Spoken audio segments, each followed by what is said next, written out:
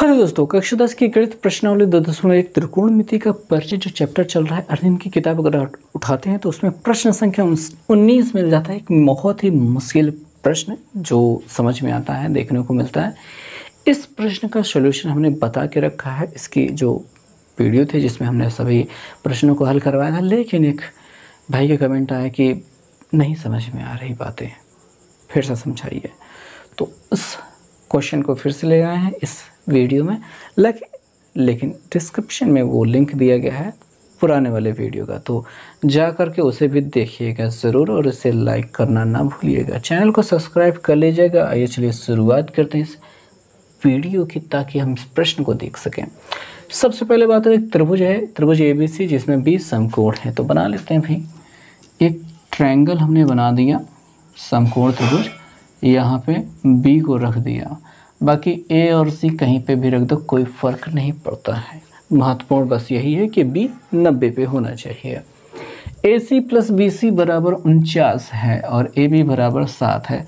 क्यों ना A B बराबर सात सेंटीमीटर से रख लिया जाए और ए बी और ए बी सी और सॉरी ए सी और बी सी इन दोनों का योगफल कितना है? उनचास है, वो देख लिया जाए।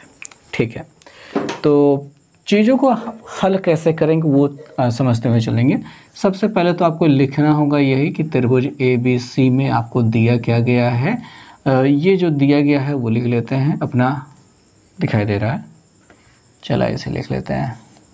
ए सी प्लस बी सी बराबर आपको उनचास मिला हुआ है और ए बी बराबर सात मिला हुआ है। इतना लिख लिया। अब अब भाई बात ये समझो कि आपको पता है कि इन दोनों का योगफल उनचास दिया गया है। मान लेते हैं कि ये वाली भुजा x हो जाती है। क्या मान लेते हैं? कि माना अपना जो BC है, वो क्या है? x सेंटीमीटर का है। तब हमारा जो AC है, वो कितने का हो जाएगा? AC कितना हो जाएगा? BC को मान लिया है एक्स तो AC प्लस एक्स बराबर उनचास है। एक्स को उधर भेज दो। तो ए सी बराबर मिल जाएगा उनचास माइनस एक्स क्या ये छोटी सी बात आपको समझने में समस्या हो रही है? कि इन दोनों का योगफल उनचास है।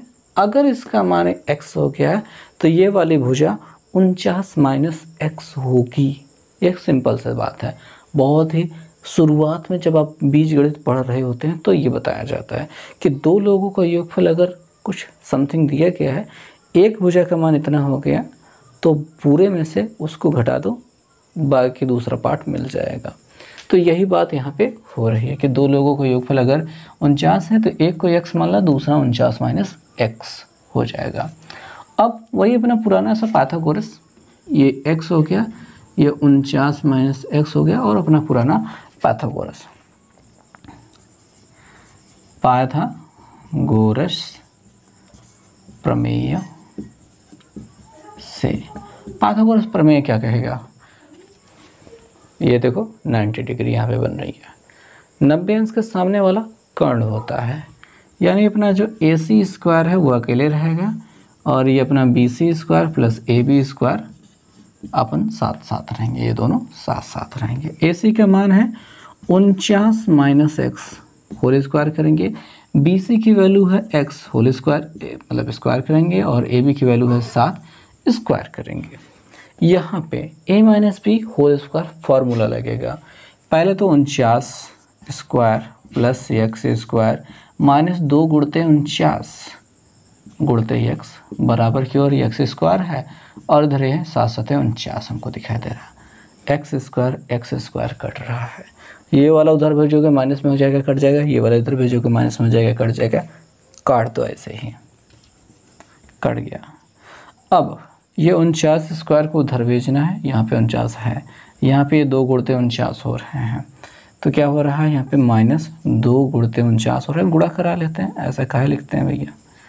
दो नौ अठारह हासिल लगे एक, दो चौके आठ एक, नौ। एक्स बराबर। ये उनचास था, ये उनचास का वर्ग इधर गया। उनचास स्क्वायर ठीक है। यहाँ पे उनचास माइनस उनचास का वर्ग, अरे, यहाँ पे तो इसका वर्ग लिखने के लिए ही तो इतनी मेहनत की है। यहाँ पे माइनस अट्ठानबे एक्स लिख लेते हैं, उनचास का वर्ग कर लेते हैं। देखो भैया, उनचास लिखेंगे, घाते दो लगाएँगे। मतलब घाते दो लगाने का मतलब है उनचास गुड़ते उनचास करेंगे। ऐसे ही तो करना है। ठीक है? तो अगर आपको ये वाला रूल पता हो, तब तो बड़े आसानी से कर पाओगे। और नहीं पता है तो सीख लो। इसका मतलब होता है इन दोनों का गुड़ा नौ नवा इक्यासी। एक हासिल लगे आठ। फिर इसका मतलब होता है इन दोनों का गुड़ा नौ चौक छत्तीस, चार नौ एक छत्तीस। छत्तीस छत्तीस दोनों बार मिले, छत्तीस छत्तीस, बहत्तर। बहत्तर। बहत्तर और आठ जोड़ने पर अस्सी होता तो ज़ीरो लगा दो, हासिल फिर से आठ। और फिर इसका मतलब होता है ये, चार चौके सोलह। चार चौक सोलह सोलह में से, सोलह में आठ जोड़ना पड़ेगा। सोलह, चार, बीस, चार, चौबीस हो रहा है। इतना मिल रहा है। और अगर ये समझ में नहीं आया तो पीछे करके वीडियो फिर से देख लो। तो यहाँ पे लिख लेते हैं अपना। ओके। चौबीस ज़ीरो एक घटाना है। ये बड़ा है, ये छोटा है माइनस में है, प्लस में है, घटा देंगे ग्यारह। हासिल लेंगे ग्यारह। ग्यारह में से नौ गया, दो। यहाँ बचेगा नौ। नौ में से चार गया, पाँच। यहाँ बचेगा तीन। तीन, यहाँ पर बचेगा कितना दो ही बचेगा। और ये बड़ा था तो इसलिए वजह से यहाँ पे माइनस लगेगा और यहाँ पे माइनस अट्ठानबे यक्स है।